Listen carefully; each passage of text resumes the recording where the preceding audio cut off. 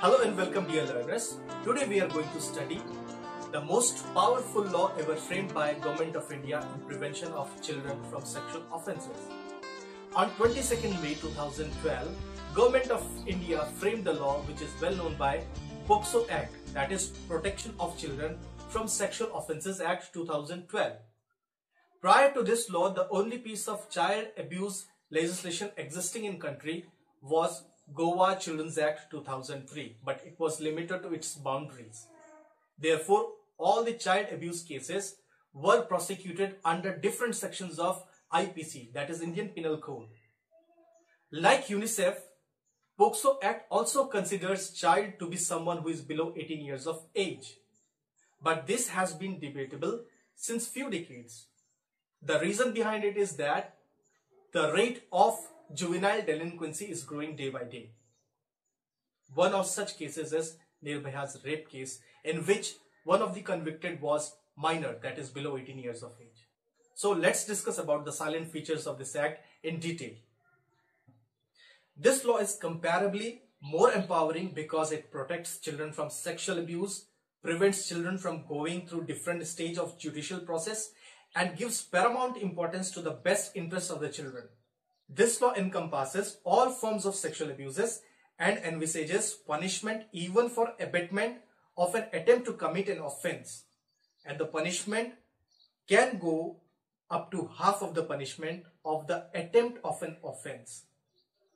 It is mandatory to lodge a FIR for police in every child abuse case. If someone, maybe media, neighbor, friend, relative, staff or anybody has an apprehension of crime committed or to be committed has mandatory obligation to report the matter. Failing to do so may attract fine or imprisonment or both.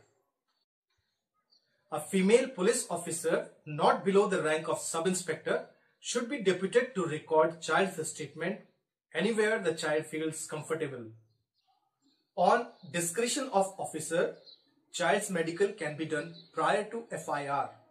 Cases registered under POCSO Act should be immediately reported to CWC, that is Child Welfare Committees, within 24 hours, which decides who will remain with the child during the trial of the case.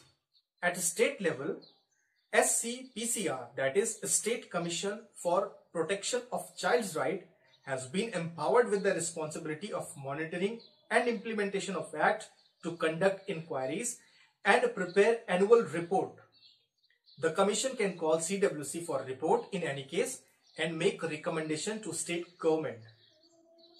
The victims will be provided compensation for loss of education, employment opportunities, disability or pregnancy as the consequence of abuse by the convicted. It is child friendly because trial has to be finished within one year by special court. Child will not be called in police station for query at night. Breaks will be given during trials.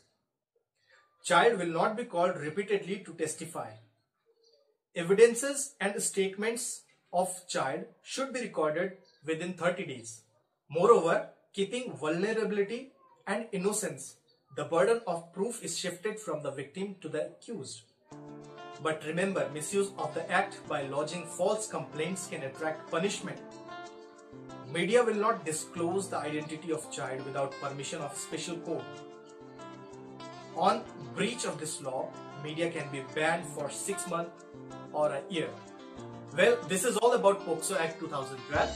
Being a teacher and a responsible person in society, you must know the details of this act.